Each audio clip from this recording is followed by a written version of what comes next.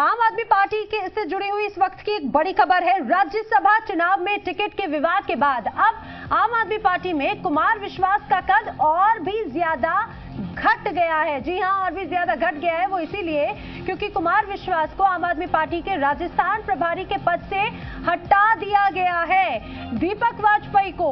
अब ज़िम्मेदारी दी गई है राजस्थान की और आम आदमी पार्टी की ओर से राजस्थान का प्रभारी अब दीपक वाजपेयी को बनाया गया है। पार्टी पूरी तैयारी राजस्थान चुनाव के लिए कर रही है। और राजस्थान के बागडोर दीपक वाजपेयी जी को सौंपी जी को, सौंपी गई है कि वो पूरी चुनाव को अपने हाथों में लें और वहीं पे रहें, वहाँ पे रह के संगठन को मज़बूत करें, चुनाव की स्ट्रेटजी तैयार करें, पार्टी के वरिष्ठ नेताओं से संपर्क करके उनके कार्यक्रमों की रूपरेखा बनाएँ और कैंडिडेट्स की एक लिस्ट बनाए जो पीएससी के सामने पार्टी लीडरशिप के सामने रखी जाएगी और अंत में पार्टी उस बारे में फैसला करेगी।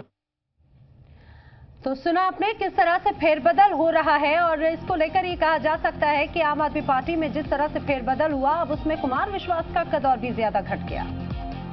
या यूँ कहा जाए कि अब कुमार पर आपको विश्वास नहीं है। शायद यही वजह से, यही वजह भी है कि अब राजस्थान का भी जो प्रभार था, वो भी उनसे छीन लिया गया है और अब दीपक वाजपेयी को राजस्थान का प्रभारी बना दिया गया है।